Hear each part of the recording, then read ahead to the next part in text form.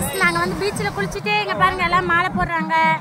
வேணாம் வேணாம், எல்லாம் மாலை போடுறாங்க. மாலை போட்டுட்டு நாங்களும் வந்துட்டு இப்போ அங்கே பாத்ரூம் இருக்கு. அங்கே போய் நல்ல தண்ணியில் குளிச்சுட்டு அப்புறம் துணி மாட்டிட்டு சாமி கோயிலுக்கு போய் சாமி கும்பிடணுமா.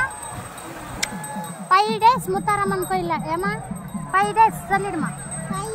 ஃபைவ் டேஸ் நாங்கள் இங்கே இருக்க போகிறோம் ஏமா சாமி கோயிலில் திருவிழா. திருவிழா திருவிழா. எல்லாம் மாலை போடுறாங்க.